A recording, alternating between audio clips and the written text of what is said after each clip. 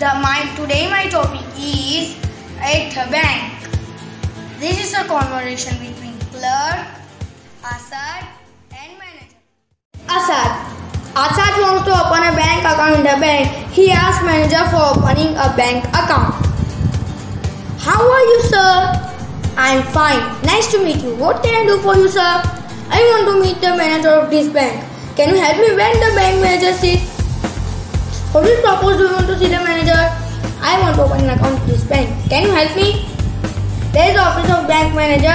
You discuss the matter with him and he will guide you properly.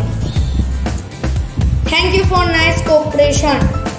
Asad goes for the bank manager's office. Can I come in, sir? Sure, why not? Please tell me, what can I do for you? I want to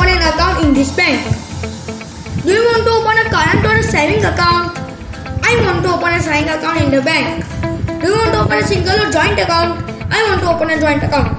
I and my wife will uh, operate this account jointly. Okay, your wife with you in the bank or she is at home? No, she is not here with me. At this time she is at home. Is her presence is necessary to open a joint account? Yes, sir. Her presence is necessary. Bank needs some verification in this purpose. I will be here with her tomorrow. Can you give me the forms? Here is the form of details and some documents attached with it. After completing the forms, you can submit it.